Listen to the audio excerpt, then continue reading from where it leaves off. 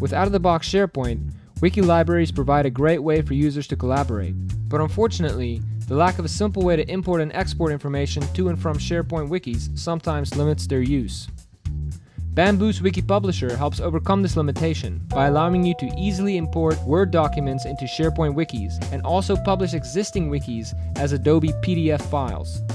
To import a Word document into a wiki, just select the Import from MS Word document option, choose the local file to import, and give the new page a name.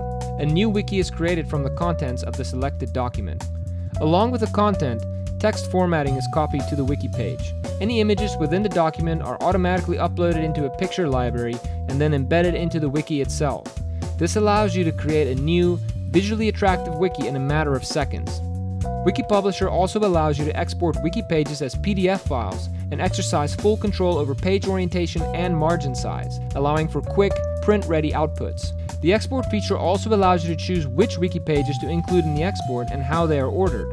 This feature lets you automatically insert page numbers and other useful formatting elements in the exported document.